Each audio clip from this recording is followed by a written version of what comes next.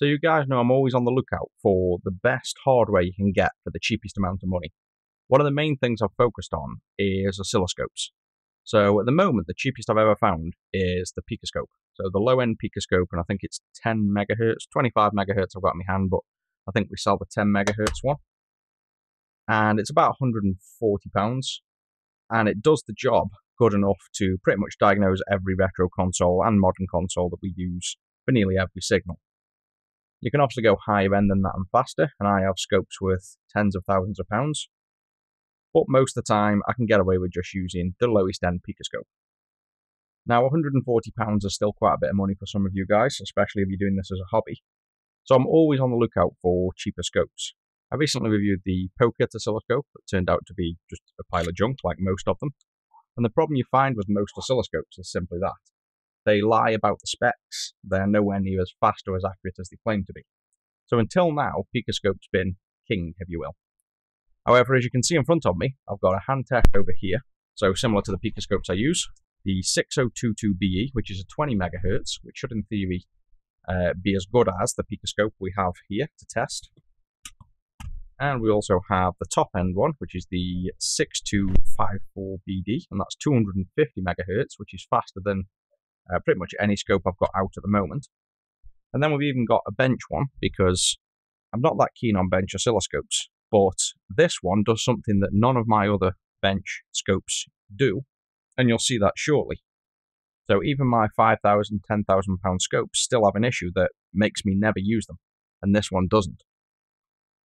So the purpose of this is to review these Hantek scopes.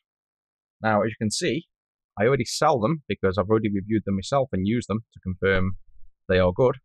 And until now, the cheapest oscilloscope that was of use was the Picoscope. And look at what price you can now get an oscilloscope that performs exactly the same, if not better, than the Picoscope. It's literally less than half price. We've then got the high end one, and we've also got the bench one. So this £66 scope is the main one that I find is very useful and very exciting for you guys to now be able to grab a scope for £66 and be able to diagnose. So with that, let's just take a look at the scopes. What we're comparing to is uh, the Picoscope that you know and you can buy that we use in most videos. I'm just going to plug that one in now and just pull it up on screen. And I've got an Atari 2600 in front of me. I'm just making a video composite mod at the moment. So it's perfect time and this is what I've been testing the Hanteks on as well. Got some fairly high speed signals. And what we're going to do is show you what these signals look like on the Picoscope that we know works well, and that's what I use for most things. If we just probe, say, the sync pin, you can see we've got the sync pin here. Now I go, say, put a full frame in there, that's a good idea, so like 10 microsecond divisions. If we go to some Luma signals, you can see similar data. And if we go to the color or the chroma of the uh, video signal, this is where the high speed will really come in. So this is the color burst information in composite and S video. 500 nanoseconds here to capture. You can see this curve here of the actual data. And that I believe is actually part of the Atari, so that's not a slowdown in speed on the scope. And I know that because I've used my much higher speed Picoscope to confirm that. So this is actually how the Atari looks. So it's important to see do we get this kind of shape now we have a known broad picoscope that we can compare to. Let's compare that signal with the Hantek. So I'll just put this picoscope aside for a moment. And let's first grab the cheaper Hantek. So this is the 66 pound Hantek. And you can see it's 20 megahertz. So the scope I've just used is actually 25. So in theory, this should show at least as good as this scope. Let's plug it in. So the thing you'll find with the scopes on the Hantek is they are good. They're far from cheap. The cable feels nice. But compared to, say, my high end Picoscope probes, uh, they don't quite feel as uh, premium. And it's not to say these feel cheap, they definitely don't. But there is a noticeable difference with the feel of, say, the ground clip on the Picoscope is a proper ground clip. And on the Hanteks, it's a crocodile clip. So there's some minor um, things to be aware of when you come to buy the Hantek. But again, bear in mind you're paying £66 for this, and that scope I just showed you the lead to is thousands. So there's you know there's a reason for slightly cheaper prices. So for this Hantek one, I'm just going to connect the ground up make sure to download the 6022BE software specifically. Uh, there's different versions of software for each scope at the moment. Once installed, you'll get this icon on the desktop and you can see it says Hantek 6022BE. And we also have the 6000, which is the more expensive series. So if we double click on the 6022BE, I'm going to set up the time division to about 10 microseconds like we had before for channel 1. And we have a trigger set already. So we now probe the sync pin. Uh, you can see the signal there. Let me just lower the voltage divisions and I can bring down the signal. Let's just increase again. So there's roughly the similar to what we had. We have um, a full frame fit on. And you can see again the signal looks nice and sharp, looks very similar. Go to the luma, looks similar. And go to the chroma. And now you can see a noticeable difference in the chroma. So for the chroma pin at least, you can tell there's actually uh, not as clear a data, basically. It's still there and completely usable. But if we just pause this a minute, let's try and get it on some full chroma data. You can see the resolution of these ups and downs is much smaller. It's just about detecting the ups and downs of the chroma. And then for here, we're not quite sure what's going on. So it's got good enough resolution and very similar to the Picoscope. I'd say if anything else, it's maybe, and this could just be the visual on the screen, uh, it's maybe slightly less resolution. But bear in mind that would make sense because uh, this £66 one is 20 megahertz, and the one I just showed you is actually a 25 megahertz, not even the 10 megahertz we sell for 140. So I'd say this is at least performing to the 20 megahertz spec. And it's also more than good enough to see the signals we need. So you can probe around here and kind of trust what you're seeing, which is great. There is a clock signal. So if we went faster, you can see the signal there is nice and clean still. So that will be the main pixel clock. So it's certainly performing more than adequately for what we need, which now means you can get a scope for £66 that does everything you need. So now we looked at this one, which is a perfect alternative to the cheapest Picoscope. Let's take a look at the highest end PC oscilloscope. Uh, we go to the Lumas, it's easy, clock. So now let's see if the clock is any more clear on the tight signals. So if we go to one microsecond there. You can see a noticeable difference now. If we just bring that down and pause that signal, you can see it's nice and clear. It's like the Picoscope was. It's very methodically detailed. Uh, you can tell that what you're seeing on screen is accurate. If we go even faster, you can see it goes nice and fast. And even right down to a close-up, you're getting a good clean signal. Go to the clock, and you can see the clock there has got some skew on here. So this is the resolution of the clock. So what we could do is grab a measurement.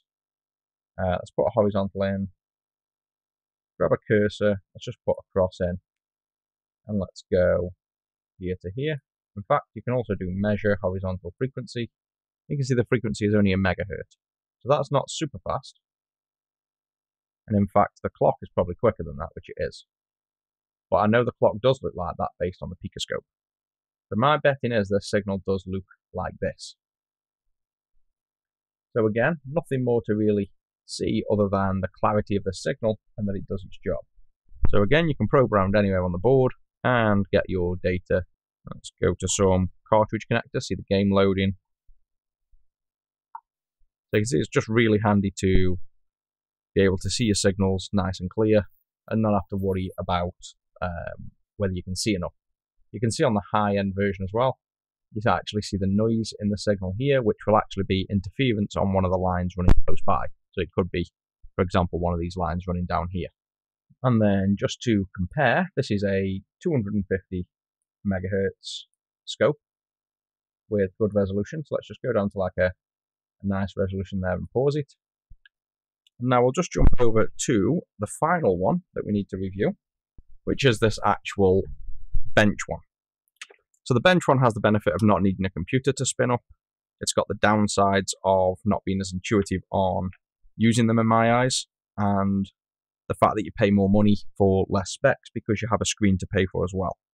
So my main gripe with all bench scopes I own is say we go over a data bin of the cartridge loading some data. Now see how this is actually showing data and it's updating and you can see clearly every step. So if we were to just do a single shot, you can see the data there. Now on my other scopes, every single other scope, including the expensive ones, instead of this being a nice clean visual while it's running, so while this is actually running, instead all the other scopes merge the current frame and 10, 20, 30 previous frames in a kind of overlaid mushy mess and it's not easy to see. Whereas this scope, plus all the PC scopes and the Picoscopes, show the signals individually, nice and clear. So bear in mind this is 150 megahertz, so in between the two. We'll check, we can obviously see nice and clear, uh, as you'd expect. The Luma pin should be there, and again, let's take a look at the chroma data. Now this is the fast traveling signal, so we want to get our horizontal scale as fast as possible. So the changing of scale is a little bit slow, but it does work. And you can see there the resolution, if we freeze that, I'd say the resolution of this to the actual 250 meg is very similar. And for the speed of this clock, there's no noticeable or discernible difference. You've got everything you'd expect from the scope, so you've got your triggers, which move up and down. You've got your scale vertically that you can change. And you can see what I mean about the slowness. It's slightly slow to update when you're turning. So you go between the scales, and there's just a little bit of a delay before it kicks in. It's nothing major, and it doesn't stop you enjoying it and using it. There's also an auto set, which I rarely use. I expect to find the signal by knowing what I'm doing, basically. So I don't really use auto set, but that seems to work. Zoom out a bit, and there's the color data. And the fun thing here is we can turn off the color on the Atari, and there we go. That's the black and white mode. So when it mixes the chroma signals uh, with the luma signals, um, that's what adds color to your image for composite. You turn it back on, you see the chroma gets overlaid on the luma. So that's just a cool little thing to see. Uh, in terms of measurements, we can pause that as well. You've got your measure as well, where you can do all your types of measurement that show up on screen. And I believe you can also just do measurement stats, and then everything shows up on screen all at once. So while it's running, you've got a permanent update of all stats going on. So you can see the average is 4.5 volts, the max is 5 volts, which is this line. You've got your frequency, uh, duty cycles, everything you could imagine there that you need. You can also turn on different stats that are not as intrusive, but all your good ones. So your current voltage peak to peak, your current frequency, your current average, your mins, your max. You've got all all good measurements there, and you can just obviously add one at a time to add these little uh, measurements down the bottom. Your cursors like you'd expect, so a Y cursor, you can move, you can see the little lights going up and down to do measurements and then between the two lines, say, between those two lines now, all the same stuff as most scopes. The display on this is awesome as well, really clear, really vibrant. Uh, the probes, like I say, good enough quality, not cheap, not mega expensive. So I'd say personally, if you're not going to use it on PC, the PC software at the minute on the Hanteks isn't great. I've got a potential solution for that, me actually making the software because I am a software developer. So I could make some really nice UI that works on um, all the platforms and make this UI much nicer. It's not terrible. It's just you can see here to change it time division. It's got this weird draggable bar that is not really. It's trying to simulate what you'd have physically here, but it doesn't really work in the setting of PC software. It needs a different interface similar to the Picoscope. But overall, now we have much better range of options for buying cheaper but quality oscilloscopes. We have two options, the cheaper £66 and the £200 plus pound Fasti scope. I'd recommend you start with the £66 or the bench scope to begin with, because you'll rarely need this for what most of you do. If you're probing around for pins to find faults in loading, then your £66 scope is more than adequate. I'm getting a lot into the Ataris and the Commodores and things at the moment, so if you have any suggestions on mods you might like to see, or potentially me showing you how to do these kinds of mods, uh, let me know. And hopefully this is a nice unbiased review of some hardware we actually use, and I've finally found a cheaper alternative still to Picoscopes to help you guys get into the more advanced diagnostics at less price. That's it for this one, guys. I hope you enjoyed it, and I'll catch you in the next.